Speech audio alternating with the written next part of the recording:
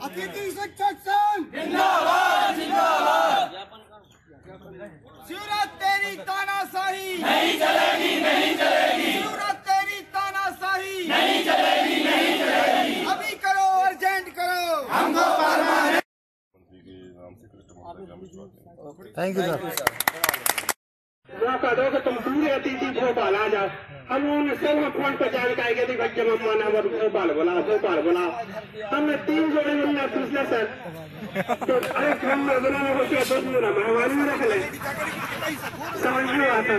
سر ہم جان لگے ہمارے ایک متر نے پوچھی۔ کہہ رہے کہ سر تین سو مل رہا پوچھا کہاں جا رہے ہم کہ بھیا آج بھی مما بھوپال بلا رہے ہیں کہ جا تو رہے تیا ڈیکھ دار لگ تو میں نے کہا کہ مما کا جو دان نہیں دے دے۔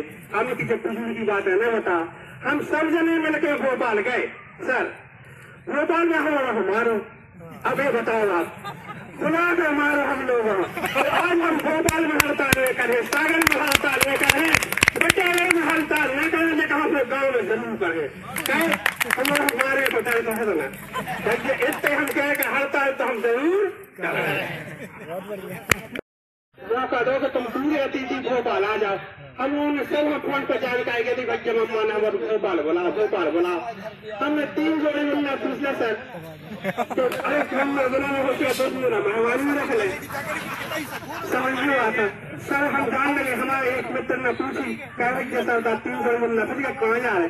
ہم کی بھائی آج بھی مما بھوپال بلا رہے ہیں کہ جا تو رہے، ٹی آئی ڈیکس ڈال لگتے ہم میں نے کہا ہے کہ مما کا چھپا دان بھی دے دے ہم نے جب خوشی کی بات ہے نا بتا ہم سب جنے مل کے بھوپال گئے۔ سر، بھوپال میں ہمارا ہمارو اب یہ بتاؤ آپ بلا میں ہمارا ہم لوگ اور آج ہم بھوپال میں ہڑتال لے کر ہیں ساگر میں ہڑتال لے کر ہیں۔ بٹیالے میں ہڑتال لے کر میں کہا اپنے گاؤں میں ضرور کر ہیں۔